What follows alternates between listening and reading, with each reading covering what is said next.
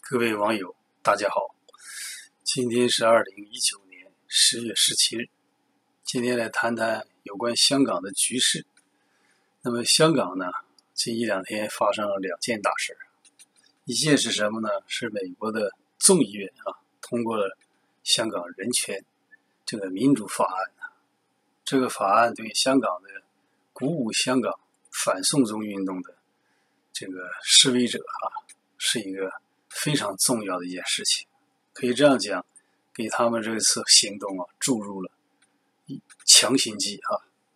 因为香港呢，它是在国际的大视野下展示了目前发生的轰轰烈烈的啊这个一波未平一波又起的反送中这个运动啊，到现在为止啊，已经坚持了好几个月了，到现在还没有平息这个迹象啊。那么尽管。这个林郑月娥，施展着两面派的手法，一会儿是撤回这个条例啊，一会儿又是推出新的反蒙面法等等。那么表明他没有啊，这个真正的接受五大诉求的任何诚意啊，只不过是在玩弄权术啊，像一个木偶一样受这个中共这个操控啊，在香港表演，使这个局局势现在啊，这越来越糟糕啊。现整个香港已经变成了一个战场了。那么，在这一次反送运动当中啊，起到领军作用的一个非常有名的啊，这个赫赫有名的年轻人呢，就是申子杰。他是这个民间人权阵线的召集人呐，一个组织者、领导者。由于他是领军人物，那肯定了一些这个仇恨他的啊，这个势力一些人呐，那可能就要对他。这个搞一些阴谋的手段啊，那么我们知道申子杰啊，他在这个二零一九年的八月二十九日，就第一次曾经遭到了这个这个蒙面暴徒的这个袭击啊。那么当时那个袭击的地点在旺角啊，在这个在佐敦道啊，在佐敦道德兴街十八号啊，当时在一个餐厅里。据说他和一个朋友在一起吃饭的时候，在短短的几秒当中啊，忽然间就冲进来那么两个这个手里持有长刀啊和这个棒球棍的这些暴徒啊，结果他遭到了毒打。但是由于他的友人呢奋力的抗争抗争啊，保护他，他的友人受伤了，他呢这个还没有大的问题。那么这件事情当时也是。这个震动一时哈，那个起案件发生在这个餐厅的名名字啊叫这个韦亚轩哈，我看到网络上有一张图片啊，那么香港的媒体当时都做了很多的报道，人们都知道了啊。据说呢，这个案件发生之后，香港的警方啊抓捕了几个人，那么有的人据说还要在十月十八号啊和十月五日分别要上庭啊，就法庭要聆讯啊。要裁判，那么另一个这个保释啊，还有两个人在逃，也就是说，警方似乎是找到了这个这个暴徒哈，但是最后怎么处理，这还有待于在观察。但是这至少说明什么呢？就是这个第一次这个申子杰这些人早就把他当成一个袭击的目标了，他们想把这个领军人打掉啊。其实香港这个反送中运动啊。虽然申子杰本身来讲，作为这个民间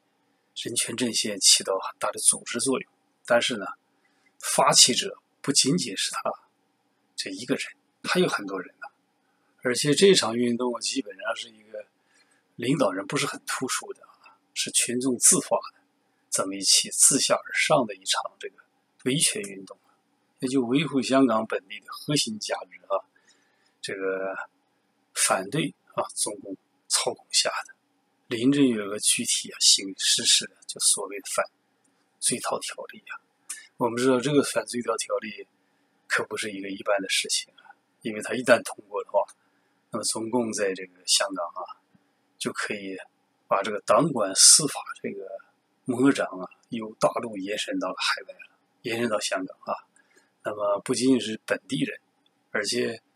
途经香港转机的。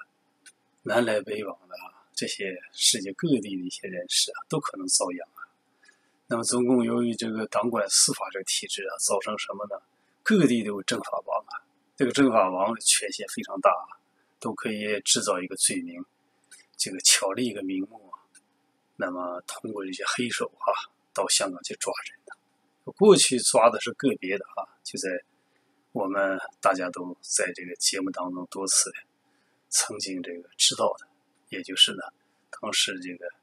铜锣湾事件啊，那么还有这个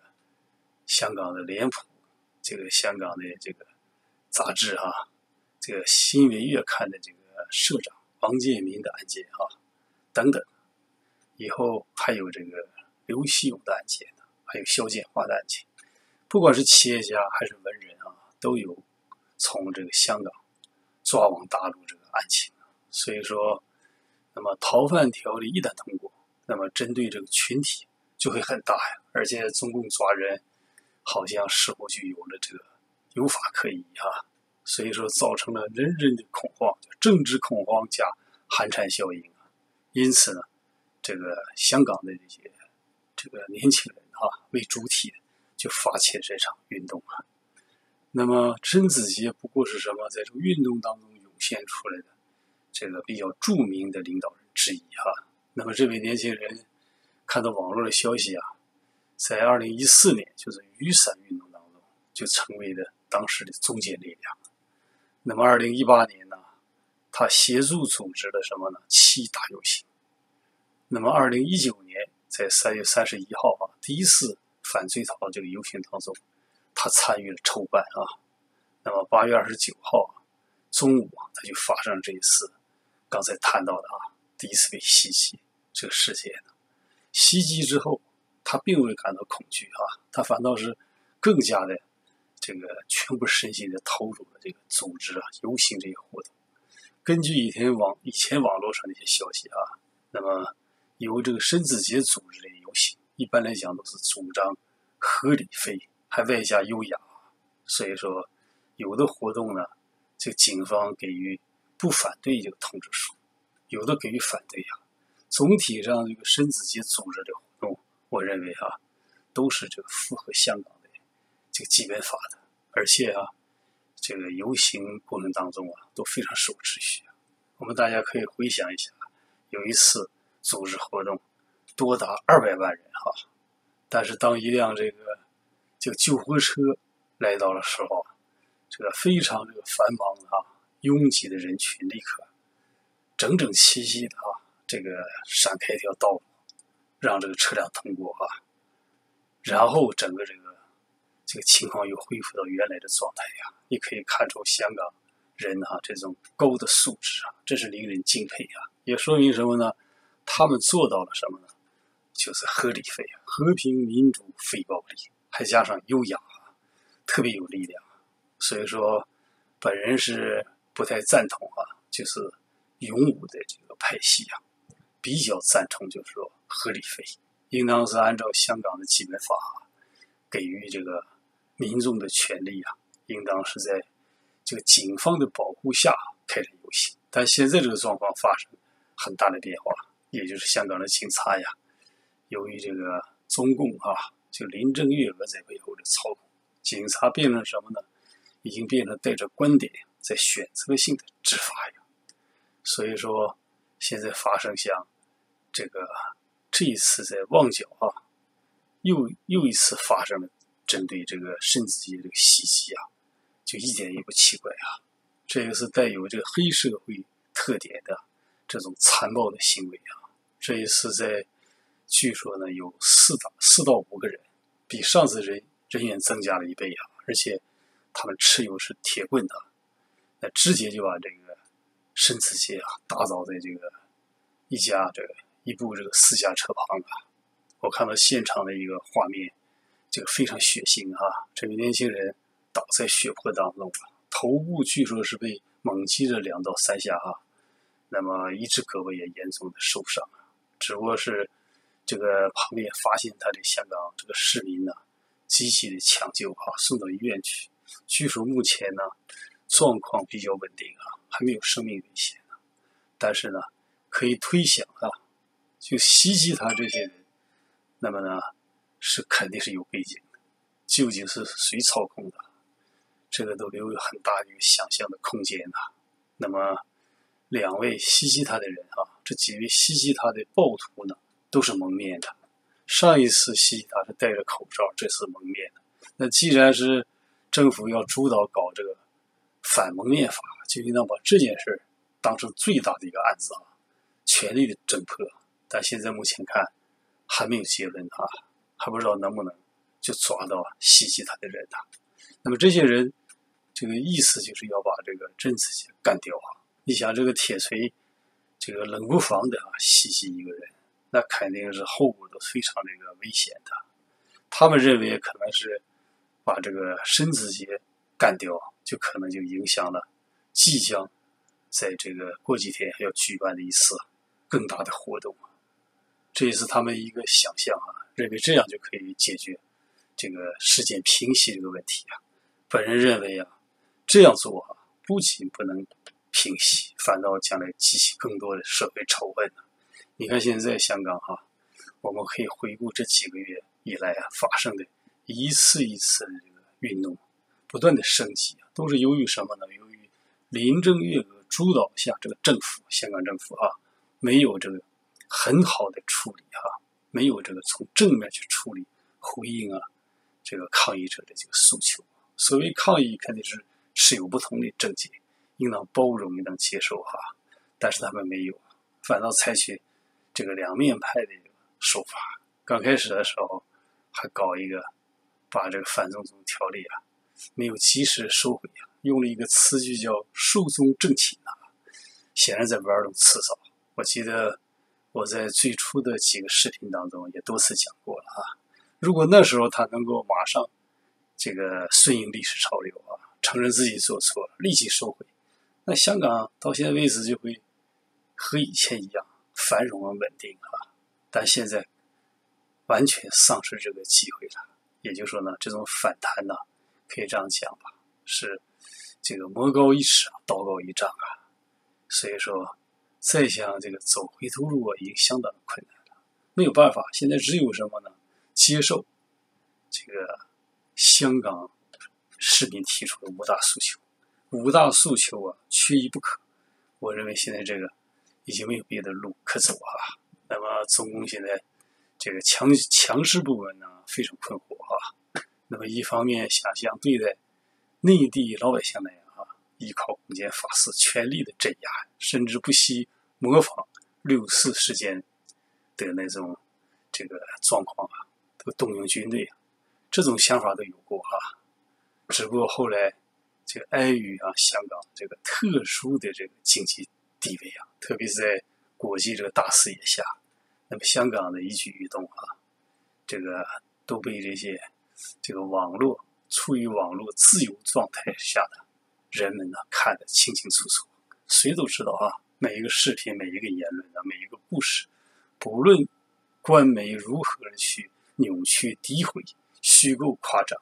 人们都看到这个事件产生的原因究竟是什么，发展到今天这个地步啊，究竟谁应当承担责任呢？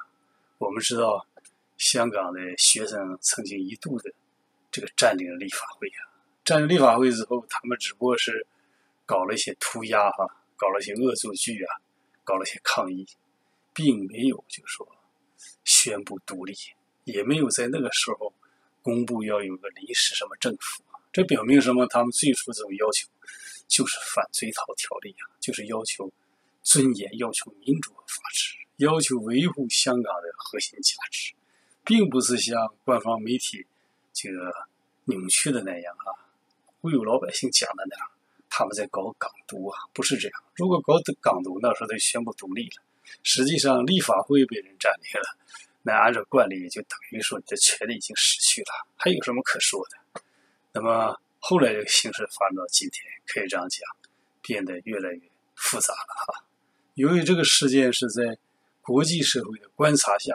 在美国啊，在英国。他们都在香港，有很多的自己的企业，有很多的国民生活在那里。那自然而然而然的，人们也非常非常的关心他。那么，我认为啊，这个人权是大于一切，也大于主权呐。其他的国家对中国这个人权状况进行批评，这是非常正常，不能说人家干涉你的内政啊。那么现在香港这个人权这个法案在美国这个这个众议院通过了，那当然还要在参议院通过，再加上这个总总统还要签署啊，才能成为法律啊。但是可以推测，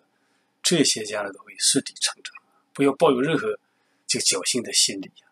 会通过什么其他的手段会阻挠，会起什么作用？我认为啊，在香港，这个林郑月娥必须下台，必须接受香港市民提出的双普选。所谓双普选，要求根本也不高，一个是要选这个议员，基层的议员；第二就是特首，选举的这些官员才能啊真心实意的为这个香港啊这个。广大市民服务啊，这一天这一条是他们应有的权利，只不过是过去没有，现在要恢复啊，要归还到他们手里啊，要保证香港的司法的独立啊，言论自由，也要保护它，保护这香港基本法呀，这没有什么可说的。所以说，我看有的很多的这个舆论啊，官方的舆论啊，这个把这个美国这个通过啊这个人权的香港人权法案呢及其他方案。法案指责成干涉内政，我认为这不是干涉内政啊！如果你很尊重人权啊，保护人权，爱护自己的老百姓，不到香港去随便抓人呐，没有这个姚文天事件啊，没有王建民事件，也没有林荣基这个铜锣湾事件，没有阿海事件，没有这个刘锡勇案件，我相信就不会出现今天这个恶果。所以说，这是自食恶果，只不过是。这个由于手里掌握着舆论工具啊，就把这一切东西啊，就归罪于什么呢？归罪于抗议者，这是本末倒置啊！这混淆黑白呀，叫黑白颠倒，指鹿为马呀，只能自欺欺人哈！我看到近些天呢，网上有很多的这个报道，讲到什么呢？讲到一些香港发生的这恶性事件，包括海上的浮尸，这个还有一些。这个港人互相之间的哈，这个身份不明的一些内斗情况，这些事情都充分说说明什么呢？说明啊，这个反追逃条例啊，这个发生之后，给这个香港带来了巨大的灾难也就林郑月娥是什么呢？可以这样讲，必须承担责任。现在反倒是在七十周年大阅兵的时候，林郑月娥被这个这个。推举上了这个这个检阅台呀，啊，还到北京去，这个去这个受到这个嘉奖啊，受到这个表彰啊，受到肯定啊，好像他这个立下了什么功劳，这一点对于香港人来讲是很大一个伤害呀。而且包括有一些这个采取这个暴力手段啊，这个针对这个抗议者的一些警察也给请到北京去哈。去给予这个肯定啊，给予表彰表扬，这本身都不正常，这只能激化啊香港人和这个大陆的矛盾和警察的矛盾呐。现在中共这个舆论机机器是全部全盘就开动哈，这个编造了很多的谣言谎言呐，欺骗这个大陆人民呐，因为大陆老百姓没有知情权啊，网络是个区域网，不是一个互联网。不能这个及时的、准确的、真实这个了解香港发生这个情况，在这种情况下，靠谎言统治一个国家解决香港问题啊，我认为是本末倒置啊，只能使情况越来越糟啊。那么现在最新一期的这一次对这个这个深子节的这种暴力袭击啊，我认为啊，预示着香港可能下一步还会出现更多的啊。就意想不到的问题，但不论怎么样啊，你立逆历史的潮流而动，我认为啊，你违背着香港的市民这种愿望哈，采取这些办法，将来只能啊，这个使这个林郑月娥的这个这个处境更加困难了。本人认本人认为哈，香港问题的解决啊，必须面对现实，必须赶快的接受这个市民提出的五大诉求，让这个林郑月娥赶快下台。那么，先由这个政务司这个司长啊临时来代理这个工作。那么，过一段时间就应当组织啊这个香港的市民呢一人一票的投选投票选举啊，这个实现真的这个双普选。到那个时候选出的这个特首啊，那么肯定是会做出一些顺民心的一些事情啊。你像林郑月娥这样，现在是徒有其名哈，根本无法行使自己的职责。比如说，他在这个立法会的当中，这个宣讲所谓这个施政报告的时候，讲了一半进行不下不下去了，因为什么？他这套东西啊，这个完全是不能代表民意啊。那么议员肯定要反对啊，那反对的声音比较激烈，只有终止，最后没有办法，这个灰头土脸的，只好通过这个电视屏幕去宣讲自己的报告。报告当中讲了很多这个非常冠冕堂皇的啊，关于解决这个住房啊居者有其屋的一些政策。这些政策当然很好了哈，但是现在啊，不是这个最迫切的，不是解决这个。这个经济问题，而是什么？解决的是香港核心价值问题啊，是解决什么反送中、顺中运动以来呀老百姓这个诉求的问题。把这些问题解决了，其他问题都迎刃而解呀。所以说，本人认为啊，这一次香港这个反送运动，的确是专制和民主在这个中国大陆啊，这个香港啊这块土地上发生了一次。这一次一次大的这个决战呐，这个决决决战惊心动魄啊！我相信呢，胜利一定属于啊这个坚强而伟大的这个香港人呐。那么今天的读报点评节目就到此结束，非常感谢广大网友的收看，谢谢，明天见。